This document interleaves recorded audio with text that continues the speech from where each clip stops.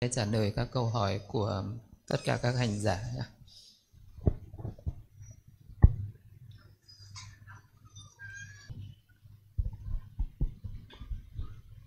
Dạ Nam mô Bổn sư Ca Mâu Ni Phật. Dạ kính bạch sư. Dạ đầu tiên thì cho con xin phép là sám hối với sư với lại đại chúng là do hồi sáng con ờ, trong lúc mà sư có giảng về cái ờ, của tăng ấy ạ à, thì con có một vài lần mà con kiểu ngủ gục ấy nên là con xin sám hối với sư.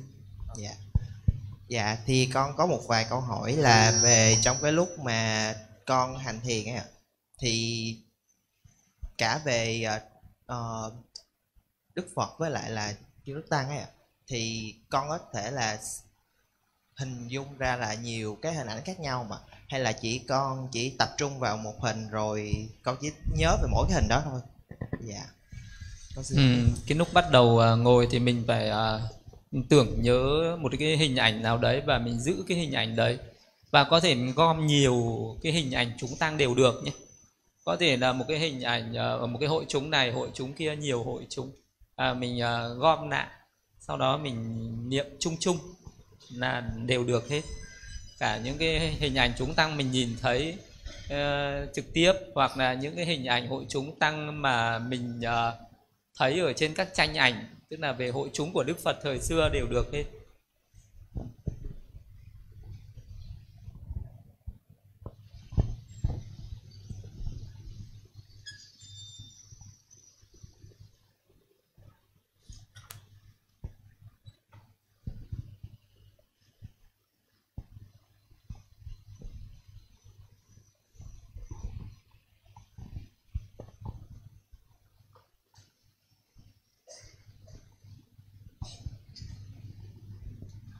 Dạ, Nam Mô Bổn Sư Thích Ca Mâu Ni Phật. Con chào Thầy, con chào đại chúng.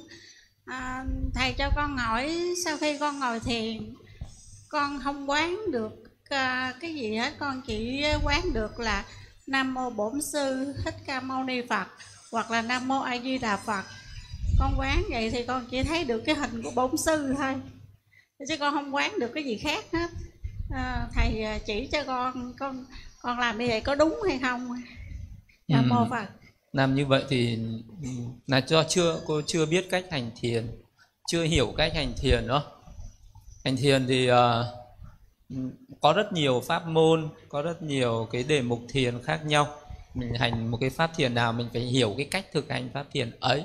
Nếu như mình hành thiền hơi thở thì uh, phải uh, để cho hơi thở đi vào, đi ra tự nhiên nhất, hướng tâm lên trước cửa mũi này và nhận biết cái hơi thở đó đi, hơi thở đi vào về ý thức của mình phải rõ ràng nhận biết.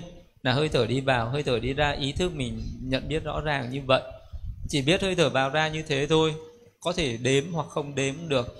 Nếu mà đếm hơi thở thì hơi thở đi vào, đi ra đếm một, đi vào, đi ra đếm hai, ba, bốn, năm, sáu, bảy, tám, chín, mười. Rồi lại quay lại đếm từ một đến mười. Có những lúc mình không đếm thì chỉ biết hơi thở đi vào, biết hơi thở đi ra đấy là hành thiền hơi thở. Còn hành thiền niệm ân đức phật thì cần phải học các ân đức phật, ghi nhớ các ân đức phật, hiểu rõ các cái ý nghĩa của các ân đức phật mới niệm được. Và lúc nhắm mắt vào hình dung ra hình ảnh đức phật và niệm mà các ân đức phật như là một cái ân đức à, à, đầu tiên là arahang thì mình niệm là arahang arahang rồi mình suy xét là đức thế tôn là bậc đã đoạn trừ hết tham sân si nên ngày xứng đáng được cúng dường arahang arahang thì cái ân đức của đức phật là là bậc không có phiền não không có tham sân si. Và hướng tâm đến ân đức ấy an trú trong ân đức đấy hoan hỷ với cái ân đức ấy. Còn cái câu khái niệm niệm a ra hăng hay ứng cúng đức thế tôn là bậc ứng cúng thì mình chỉ uh, niệm để cho tâm mình nhớ đến ân đức ấy. Khi tâm mình thể nhập với ân đức rồi cái câu niệm đấy nó có thể không cần khởi lên nữa cũng được. Đấy là niệm ân đức phật là vậy nhá còn uh, uh, niệm ân đức pháp cũng thế. Mình phải hướng tâm đến giáo pháp. Niệm uh, pháp được đức thế tôn khéo thuyết giảng ờ, ờ, uh, thiết thực hiện tại. Thì mình phải niệm một câu nào đó và hiểu ý nghĩa câu đấy. Niệm ân đức tăng vậy phải hình dung đến hình ảnh của hội chúng tăng và niệm các ân đức tăng. Là thiện lành là chúng tăng đệ tử đức thế tôn uh, ngay thẳng là chúng tăng đệ tử đức thế tôn chân sánh là chúng tăng đệ tử đức thế tôn. Thì cứ niệm như thế và phải uh, cái hình ảnh là rõ ràng cái câu niệm để mình nhớ đến ý nghĩa. Ý nghĩa của câu niệm ấy suy xét đến ý nghĩa câu niệm ấy an trú ở trong cái câu cái ý nghĩa đấy. Rồi sau đó thì ờ, cái câu niệm đấy khi mình hiểu rõ ý nghĩa rồi cái câu niệm nó nó sẽ dần dần nó mờ đi. Còn ở cái cái ý nghĩa cái ân đức đấy thì nó cứ càng lúc nó càng rõ ràng đi.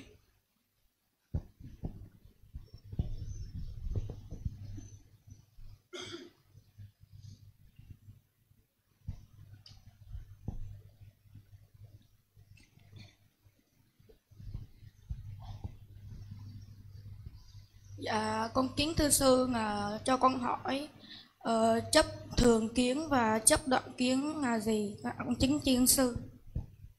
chấp thường kiến ở đây là một cái tư tưởng uh, tà kiến ở thế gian là giống như là cái cái cái cái sự hiểu biết phổ thông ở thế gian người ta cứ nghĩ rằng trong thân mình có một cái linh hồn khi mình chết rồi cái linh hồn đó nó đi ra và nó sẽ có một cái cuộc sống như trần sao thì âm vậy một cái cuộc sống ở dưới âm gia, uh, âm gian ấy ở dưới âm phủ ấy. À, và cái linh hồn đấy nó sẽ tồn tại vĩnh hằng mãi mãi không bao giờ nó bị uh, chết không bao giờ nó biến mất. Thì đấy được gọi là chấp thường. Hoặc là có những cái uh, tôn giáo người ta cho rằng có một cõi nào đó nó vĩnh hằng có một cõi sống vĩnh hằng không bao giờ bị chết uh, không bao giờ bị hoại diệt. Thì đấy được gọi là sự chấp thường. Chấp thường nghĩa là người ta nghĩ rằng có một cái gì đó nó tồn tại vĩnh viễn thì đấy được gọi là thường hằng không bị ờ, hoại diệt. Đấy là một tà kiến vì theo giáo pháp của đức phật, theo trí tuệ ờ, theo sự thấy, biết của đức phật thì không có cái gì trên đời này nó vĩnh hằng cả. Tất cả những cái cõi sống, các cõi sống khác nhau, các cái vật chất hay là cái tinh thần nó vật nó chỉ ờ, tồn tại trong một khoảng thời gian nào đấy rồi nó sẽ diệt đi. Cái gì sinh ra đều có diệt đi hết. Thì đấy được gọi là cái tính vô thường mọi thứ đều vô thường, chứ không có cái gì là thường hằng. Đấy là chấp thường. Còn chấp đoạn ấy là người ta à, có cái tà kiến, quan điểm cho rằng là mình à, không có cái đời quá khứ, không có đời tương lai. Mình à, bỗng dưng sinh ra ở cái đời này. Là một cái sự tình cờ ngẫu nhiên, rồi chết rồi là hết. Không còn linh hồn, không còn một cái kiếp sau, không còn kiếp tương lai nào nữa. Những cái người nào làm ác thì cũng không bị quả báo những người nào làm thiện cũng không có phước lành gì cả. À, và đấy là gọi là cái thuyết chấp đoạn coi rằng chết rồi là hết không còn gì nữa cả. Đấy là hai cái tà kiến à, chấp thường và chấp đoạn.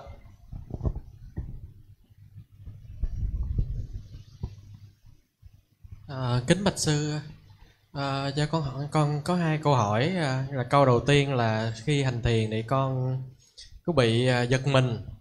Và câu thứ hai là nếu mà khi mình hành thiền mà cái tâm mình bị nó bị giả dựa nó bị trùng dữ quá thì thì con nên làm như thế nào để cho nó cho tâm mình nó phấn chấn trở trở lên trở lại? Và khi mà tâm mình nó quá tinh tấn quá phấn chấn thì mình làm như thế nào để mình có thể cho nó trùng trở lại?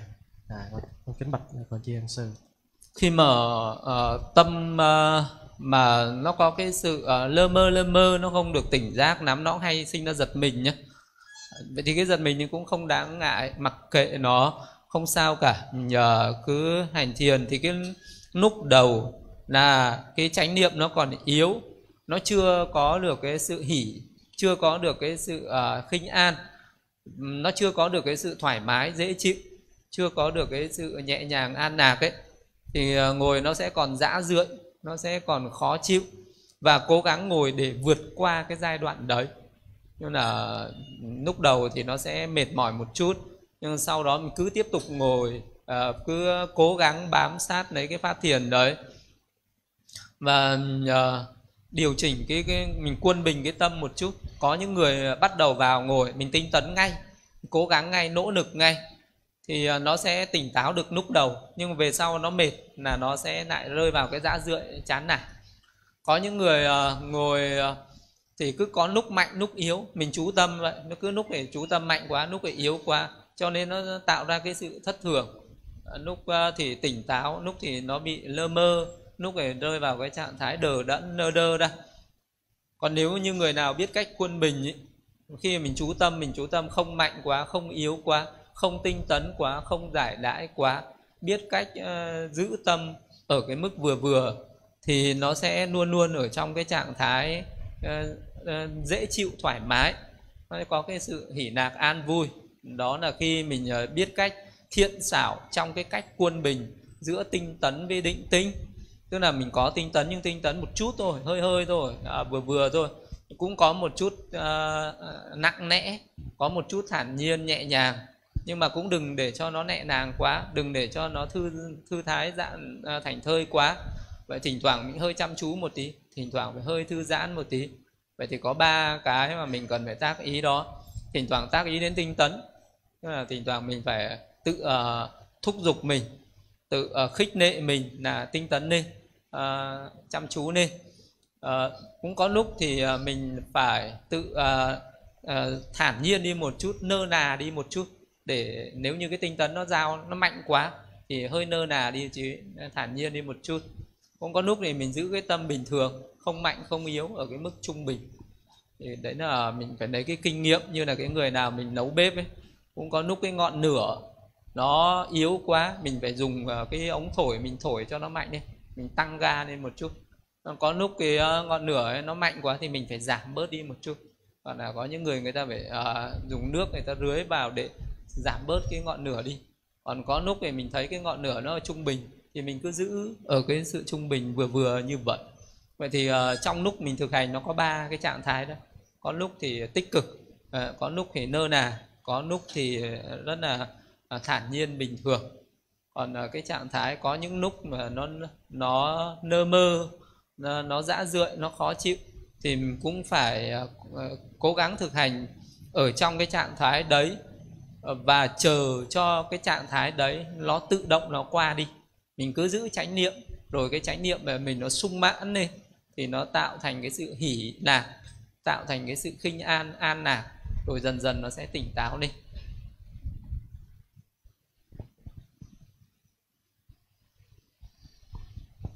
Dạ ờ, kính bạch sư sư cho con hỏi là con hay bị khó ngủ á sư, nên là con à, thực hành thiền buông thư á, để đi vào giấc ngủ. Con quán hơi thở vào ra để dễ ngủ hơn á. Nên là bây giờ khi mà con thực hành thiền à, niệm hơi thở á, thì con bị nhập nhằn lẫn lộn với sư. Thì con bị à, dễ bị buồn ngủ hôn trầm á. Nên cái nào nó cũng không được hết. Cái lúc con ngủ á, thì con cũng vẫn khó đi vào giấc ngủ không có thư giãn. Còn lúc mà hành thiền á, thì con lại bị buồn ngủ à, sư à, hướng dẫn giúp con hoặc là chỉ cho con cái mẹo nào đó với ạ. Con cảm ơn sư cái uh, pháp mà để mình uh, dễ ngủ thì hành thiền uh, rải tâm từ. Trước khi đi ngủ rải tâm từ nhắm mắt vào rải tâm từ cho bản thân mình. Cầu mong cho tôi được an vui hạnh phúc cầu mong tôi an vui hạnh phúc. Niệm uh, một chút thôi khoảng 3 đến 5 câu vậy. Sau đó thì mở rộng tâm ra đến tất cả chúng sinh vô biên à, những người mình quý mến người thường người ghét. Niệm cầu mong cho những người hiền thiện này an vui hạnh phúc cầu mong cho họ được an vui hạnh phúc. Cứ niệm như vậy khoảng ờ, ờ, uh, 10 phút 20 phút 30 phút gì đó. Sau khi nó mệt rồi thì mình hơi hơi để tâm vào hơi thở một chút xíu nhẹ nhàng tự nhiên. Rồi như thế thôi. Còn đến lúc mình uh, đi ngủ thì uh, mình cũng đừng lo nắng đừng nghĩ uh, đừng sợ mất ngủ và mình cứ nghĩ là ngủ càng ít càng tốt. Cứ nghĩ như vậy thì nó lại không sợ nó không bất an nữa. Thì là nó sẽ không khó ngủ. Còn mình cứ cố gắng là ta phải cố ngủ ờ, chứ càng cố đấy cái tâm mà mình càng cố gắng ngủ cho ngon thì cái tâm ấy nó tạo ra sự bất an. Nó như lúc hành thiền vậy mình càng cố gắng chú tâm mạnh thì cái tâm nó càng loạn. Mình cứ thản nhiên với nó.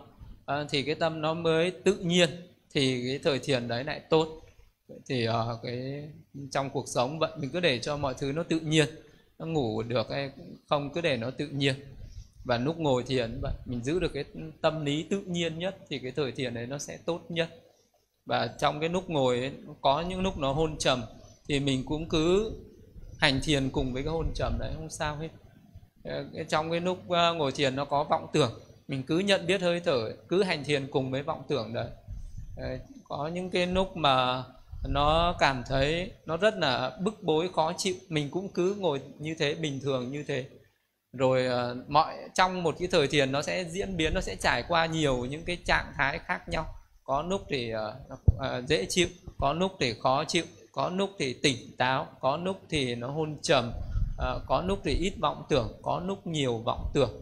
Và mình cứ thản nhiên với tất cả những trạng thái đấy và cứ thực hành một cách bình thường thì trong cuộc sống vậy có lúc mình ờ, khỏe, có lúc mình yếu, có lúc mình ờ, phiền não nhiều, có lúc mình có cái an vui nhiều.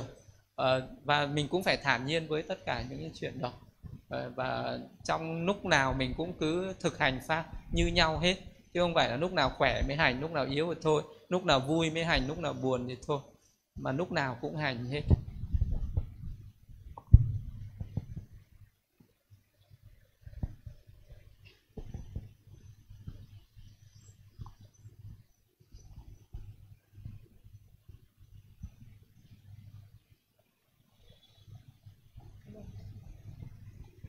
Dạ con à, kính bạch sư sư cho con hỏi là à, sau khi mà con dự cái lớp thiền à, hôm bữa mà thư dạy à, sư dạy tháng đầu tiên đó thì con về thì con trong cái thời thiền thì con một thời thiền thì con luôn có cái thiền bảo hộ và con xen kẽ với cái quán hơi thở. Thì à, con nhớ cái bữa đó là cái ngày vía ngày quan âm là ngày 19 tháng 2 âm lịch đó sư thì bữa đó con thiền bảo hộ là con niệm hồng danh của mẹ quan âm và con cũng quán với hơi thở luôn thì à, con rơi vô một cái có một lúc con rơi vô một cái tình trạng là con con con cảm giác là giống như là mình đang ở một cái chỗ nào đó tức là con rơi vào một cái không gian. Mà cái không gian đó xung quanh nó chỉ là cái ánh sáng vàng nhạt nâu nâu giống như ánh sáng, à, cái cái cái nắng buổi chiều á sư. Và trong cái không gian đó con không nghe bất kỳ một cái tiếng động nào khác hết. Và con tự hỏi là ủa tại sao mình đang ở đâu? Mà mình xa dữ vậy và mình đang ở một cái chỗ rất xa và rất cao và mình đang ở đâu. Thì và con cố gắng con lắng nghe mà con không nghe được bất kỳ một âm thanh nào. Thì khoảng một lúc lâu á, thì con cảm giác con hơi hoang mang. Tức là vâng con không xác định được mình đang ở đâu. Thì sau đó con mới sực nhớ là hồi nãy mình đang ngồi thiền. Không lẽ mình đã thiền xong? Mà tại sao nếu mà mình mình đã thiền xong thì tại sao cái đồng hồ nó không có reo lên? Thì lúc đó giống như cái ý thức nó trỗi dậy á sư thì lúc đó con mới ra khỏi cái trạng thái đó. Thì xin sư giải thích dùm là con bị cái tình trạng như thế nào ạ? Con xin cảm ơn sư.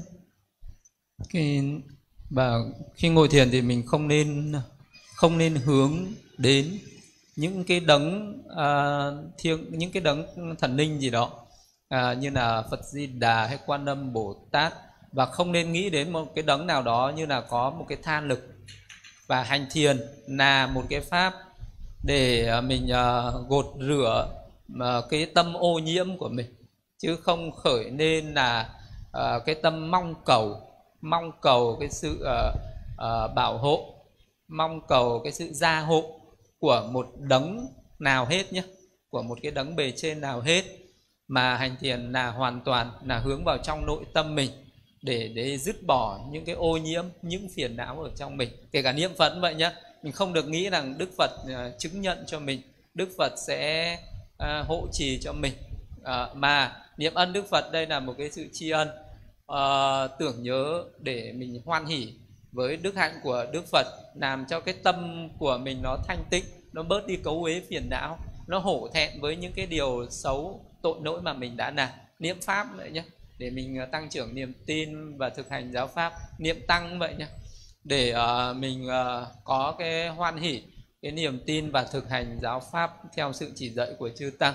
Chứ mình không được nghĩ rằng uh, những cái pháp thiền nào mà sẽ có cái sự cầu nguyện có cái đấng nào đó hộ trì cho mình. Vì khi uh, mình khởi lên một cái tâm mà giống như là có cái tha lực nào đó đến để hộ trì để cho mình một cái là sai rồi cái, cái tâm lý như vậy là sai là không đúng nữa là nó sẽ rơi vào những cái ảo tưởng ấy nó rơi vào những cái cảnh tưởng tượng. Và những cái cảnh đấy nó cũng sẽ làm cho mình bị cuốn hút theo rất là mạnh. Khi mà mình đã bị cuốn vào cái cái tưởng nó là mình rơi vào cái tưởng của chính mình thôi. Cái tưởng tượng rồi thì mình cảm thấy cảnh này mình nghĩ đến cảnh nào ra cảnh đấy. Nghĩ rằng mình đang ờ, ở cảnh chư thiên thì mình cảm giác như mình đang ở cõi thiên giới mà. Nó là một cái cảnh tưởng và những cái pháp đấy nó bị uh, sinh ra ảo tưởng. Nếu như mình không không tỉnh ngộ ra không dứt bỏ đi ờ, không buông xả được ấy và cứ bám chấp vào đấy lâu ngày nó lại sinh ra ảo tưởng. Và cái ảo tưởng đấy nó khiến cho những cái thời thiền sau mình luôn luôn rơi vào trạng thái đấy. Nên là tránh đi nhé tránh đi đừng rơi vào trạng thái đấy. Thì rất nhiều người hành thiền hay rơi vào những cái ảo tưởng như vậy không? Phải giữ cái tâm tỉnh táo giữ cái tâm tỉnh giác sáng suốt. Ờ, thì nó sẽ không rơi vào trạng thái đấy được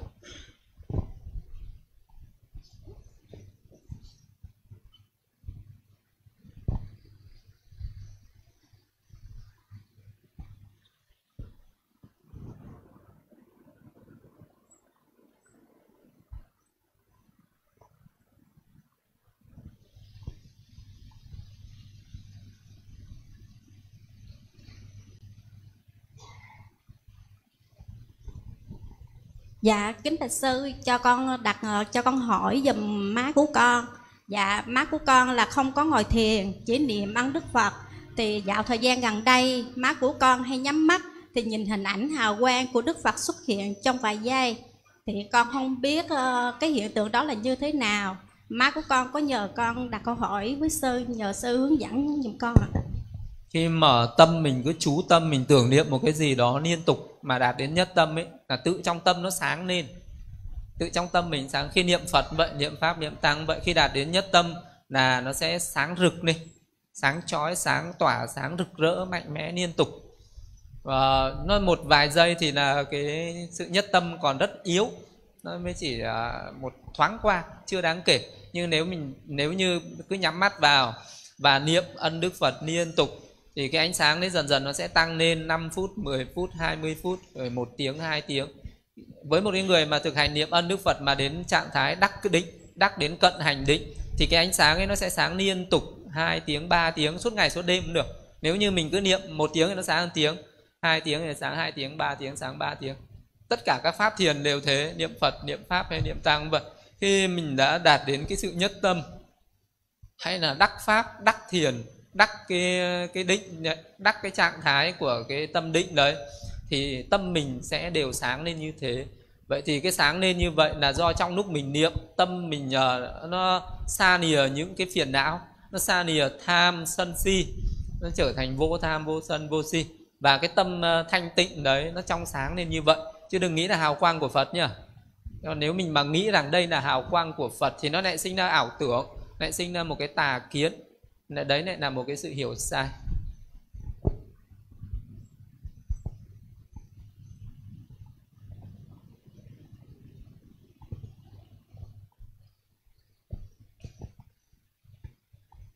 Dạ, A Di Đà Phật. À, kính bạch sư là con hỏi câu hỏi thay mẹ của con.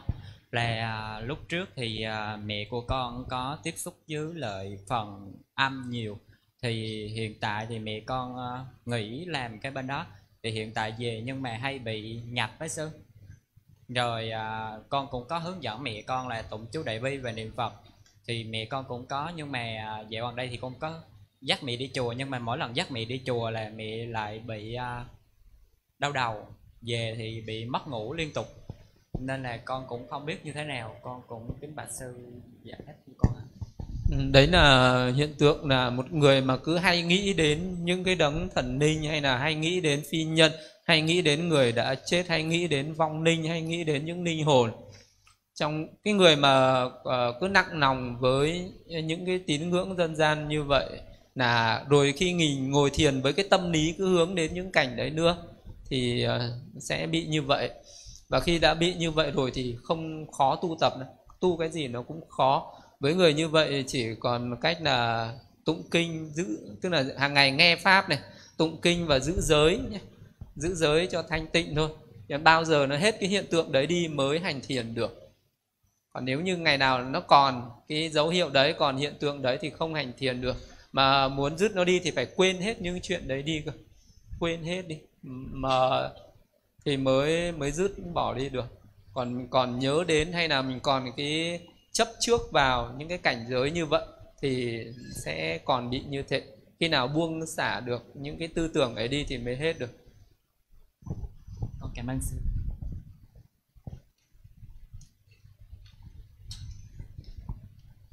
Dạ con kính bạch sư, à, sư cho con hỏi là trong trường hợp mà mình thực hành để phát triển cái tâm tàm quý mà khi mà nó phát triển quá nhiều, nó quá mạnh thì liệu nó có trở thành cái tâm ngã mạn và trào hối không ạ?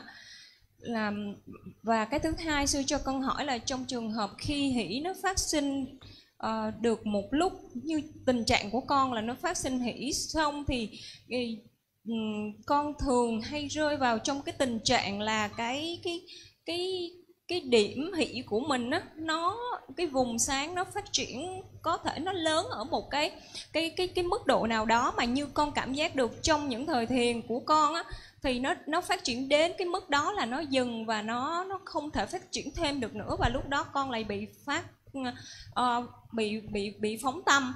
Và tình trạng phóng tâm này con uh, kéo nó trở về sự định tĩnh trở lại á, thì nó gặp cái sự khó khăn. Um, uh, và dẫn đến là con phải tinh tấn quá mức để có thể trở về lại được cái sự định tâm này. Thì xin sư hướng dẫn con ạ. Con cảm ơn sư. Cái tàm quý thì tốt. Cái tâm mình ờ, khi mình có nỗi nầm gì đấy mình ờ, có sự gây ghê sợ uh, hổ thẹn những cái nỗi nầm ấy rồi mình sám hối xong buông nhé buông xả ngay không nghĩ đến nữa ờ, chứ đừng để cho cái tâm tàm quý nó trở thành trạo hối. Nó không trở thành ngã mạn được mà nó chỉ trở thành trạo hối mà thôi. Vậy thì ờ, ờ, và lúc nào mình cũng phải biết là với một người phàm phu ở trên đời không bao giờ hết sạch tội lỗi được. Không có nỗi này thì nó có nỗi khác. Vậy khi mình uh, sám hối rồi hãy buông nó đi hãy quên nó đi hãy tha thứ cho mình chứ không được để nó trạo hối quá nhiều như vậy thì đến lúc ngồi thiền nó mới an. Rồi đến lúc ngồi mà mình uh, có uh, những cái ánh sáng như vậy thì đừng đi theo cái ánh sáng đấy. Có ánh sáng đấy là tốt. Nếu mình đang thực hành cái pháp thiền gì thì cứ tiếp tục thực hành chứ đừng nhìn vào ánh sáng đừng quan tâm đến cái ánh sáng đấy là nó mờ hay là nó rõ nó nhỏ hay nó to nó ở xa hay ở gần nó có hình dáng này hay hình dáng khác. Không để ý không được quan tâm không suy luận không phân tích cái ánh sáng đấy. Và nếu như đang hành thiền hơi thở cứ quan sát hơi thở thôi. Và cái cái tâm an ổn cái tâm thản nhiên bình thường thì cái cái định tĩnh đấy nó liên tục và cái ánh sáng đấy nó cũng liên tục.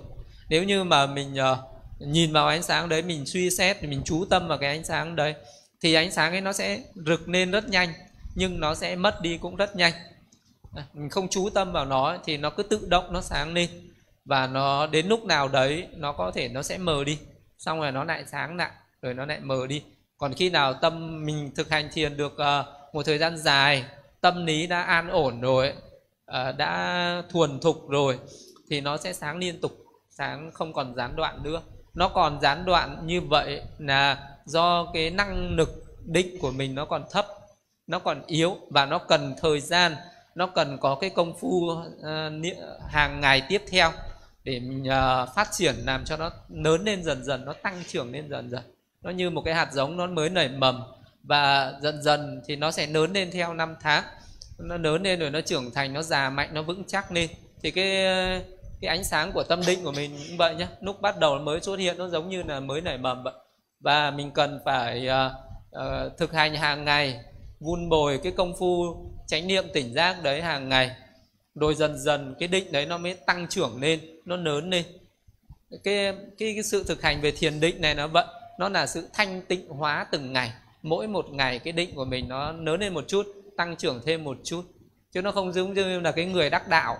Người ta đắc đạo quả người ta chỉ đắc một lần một lần là xong chấm dứt không bao giờ có sự à, lớn dần hay là tăng lên giảm xuống. Còn trong cái quá trình mình thực hành chánh niệm tỉnh giác thực hành về uh, tu định tĩnh này thì nó thế bắt đầu thực hành thì bắt đầu cái chánh niệm nó yếu uh, rồi dần dần nó lớn lên nó mạnh lên.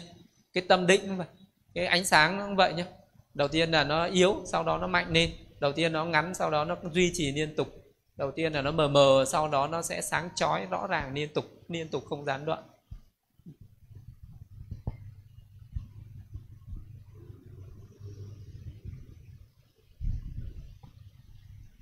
Dạ Nam mô Bổn Sư Ca Mâu Ni Phật. Dạ kính bạch sư, dạ trong cái lúc mà con hành thiền ấy thì lúc mà niệm ân đức tăng thì con đôi lúc thì con chỉ chú ý vào cái uh, mỗi cái ân đức thôi, con không có hình dung ra được cái hình nữa. và phải khoảng một khoảng thời gian sau thì con mới hình dung lại lại được cái hình. Thì cái hiện tượng đó thì có sao không ạ? Dạ mời sư. Cái lúc mới ngồi ấy, thì mình hướng tâm đến mình phải hướng tâm đến chư tăng. Thì cái ân đức ấy nó mới sinh khởi lên được à, mình à, còn cái hình ảnh thì có lúc nó rõ ra có lúc thì nó mờ đi nhưng mà mình vẫn cảm nhận được chứ ờ, chứ không phải là không có. Tức là, mình vẫn cảm nhận được thì cái hình ảnh thì không quan trọng có lúc rõ ra thì càng tốt cũng có lúc mờ đi cũng không sao nó hơi mơ mơ lơ mơ nó mờ đi xong là nâu nâu nó lại gợi nhớ lại được một chút. Đấy, vậy thì cái hình ảnh là không không quan trọng nhưng cái ân đức thì quan trọng. Ân đức và cái ý nghĩa do mình suy xét đến ấy, thì uh, càng rõ càng tốt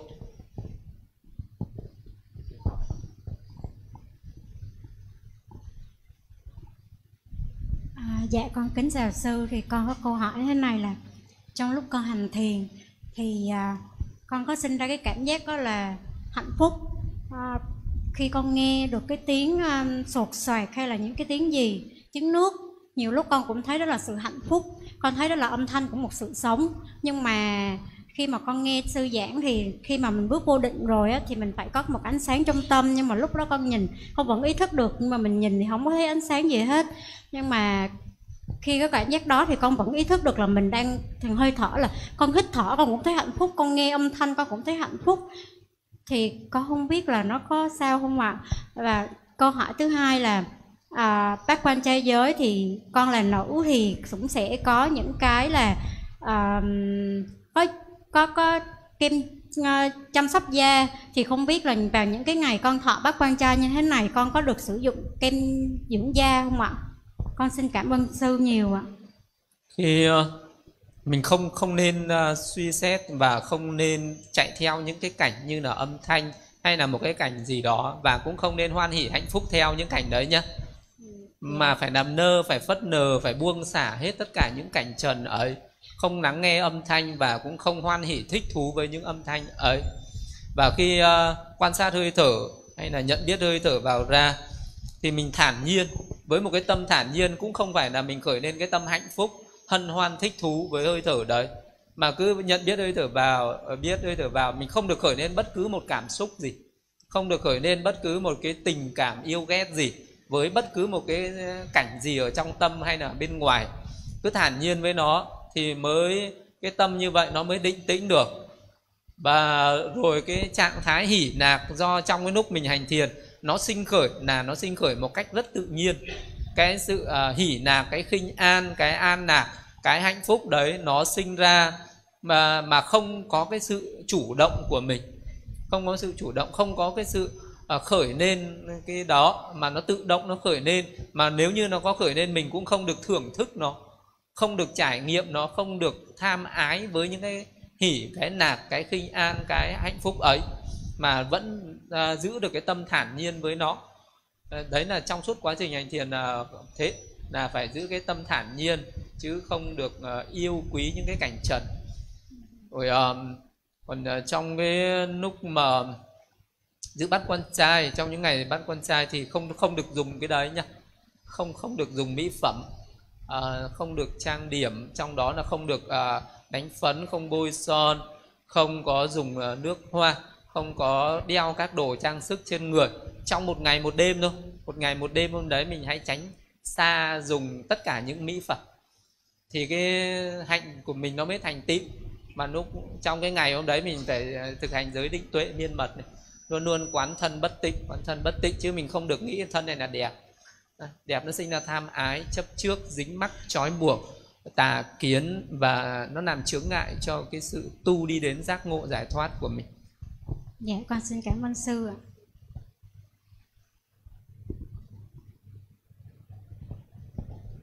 Dạ, Nam Mô Bổn Sư Thích Ca Mâu Ni Phật ạ. À, kính bạch sư, à, kính à, bạch các vị à, chư tăng và ni và đại chúng ạ. Con có vài lần ngồi thiền á sư. Thì ban đầu suy nghĩ rất là nhiều sau đó là con quan sát hơi thở. Rồi tự nhiên ờ, thân con ờ, bắt đầu thẳng lại. Tâm bắt đầu yên lắng động lại và hơi thở bắt đầu nhỏ dần. Và mất tiêu bắt đầu tâm ờ, nó trống rỗng thưa sư rồi có, rồi sau đó có trạng thái là cái ánh sáng nó gần gần gần gần gần gần gần gần và và tỏ ra á sư dạ xin chân chia thưa sư cái lúc bắt đầu ngồi thiền uh, thì uh, lúc ấy tâm nó có chưa có định tĩnh ngay được ấy. Nó sẽ còn rất nhiều những cái vọng tưởng rất nhiều những cái loạn động. Thì mình cứ quan sát hơi thở cùng với những cái vọng tưởng đấy không sao. Rồi dần dần cái vọng tưởng nó sẽ nắng dần nắng dần đi. Nên là một thời thiền uh, không phải lúc nào nó cũng định tĩnh không phải lúc nào nó cũng nhất tâm được mà cái sự định tĩnh nhất tâm ấy nó phải đi từ từ dần dần. Lúc từ cái động rồi dần dần nó tĩnh lại à, nó nắng xuống dần dần rồi sau đó nó sẽ định tĩnh à, nó sẽ nhận biết được cái cái pháp thiền đó đều đều liên tục không mạnh không yếu nhẹ nhàng tự nhiên. Và trong cái lúc đấy mình à, ngồi mà tốt ra mà à, có cái sự định tĩnh sâu sắc một chút thì là nó sẽ xuất hiện ánh sáng. Ánh sáng nó cứ từ từ từ nó sáng lên mà cái người mà mới bắt đầu thấy ánh sáng thì cái ánh sáng đó nó có thể bất nó có thể xuất hiện ở bất cứ chỗ nào. Có thể xuất hiện ở trên người mình nó có thể xuất hiện ở trước mặt mình nó có thể xuất hiện ở ngay trước cửa mũi này nó có thể xuất hiện ở trước mắt này ở trên đầu này hoặc là ở khoảng cách xa mình một sải tay này. Nó có thể to có thể nhỏ có thể uh, có hình dáng màu sắc khác nhau. Nhưng mình không được nhìn vào nó không quan tâm đến nó không đi theo nó uh, không thích thú với nó mà cũng không đi tò mò tìm hiểu cái này là cái gì? Tại sao nó xuất hiện cái này? Mà cứ thản nhiên, cứ tiếp tục ờ, quan sát hơi thở, cứ biết hơi thở vào ra, không bận tâm, không để ý đến nó, thì nó lại sáng nâu. Thì cái ánh sáng nó lại ờ, tồn tại, nó lại tăng trưởng, nó phát triển. Còn nếu như mà mình ờ, đi phân tích, suy xét hay đi theo nó thì nó sẽ mất đi nhanh. Một lúc cái là nó lại tan đi mất còn nếu mình ờ, cứ thản nhiên bình thường với nó thì nó lại ờ, ờ, giữ được liên tục không gián đoạn. Vậy nên là dần dần nó sẽ tăng dần lên 5 10 phút rồi dần dần nó tăng lên cả một tiếng hai tiếng cơ. Lúc đấy nó mới nó mới ổn định chứ nó mới xuất hiện một chút xíu thì đừng bận tâm nó đừng quan tâm gì đến nó là tốt nhất. À, Nam mô Bổn sư Thích Ca Mâu Ni Phật. À, kính thưa quý vị Phật tử, à, vì thời lượng à, có hạn cho nên là à, buổi vấn đáp đến đây à, đã đã thành tựu. À, quý vị Phật tử nào chúng ta còn câu hỏi